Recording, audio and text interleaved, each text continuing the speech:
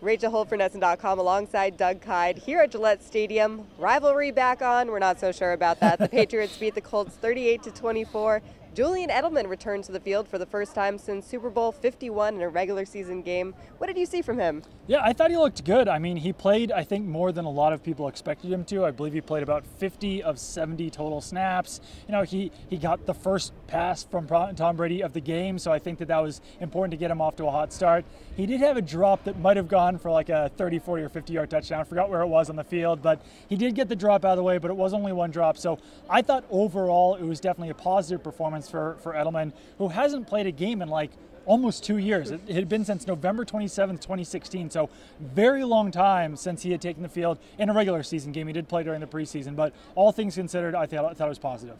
Okay, so he's 32 years old. Like you said, he hasn't played in a while. Can we expect to see the same Edelman out there that we're used to?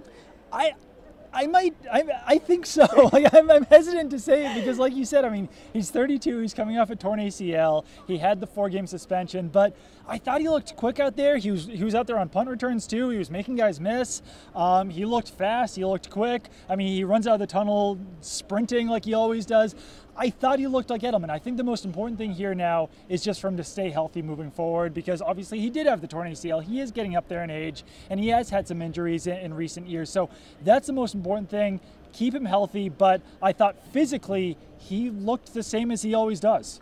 All right, Pats fans, we can all calm down a little bit. The team improves to 3 and 2. Next up, they get the Chiefs. Keep it on NESN.com for all your Patriots news.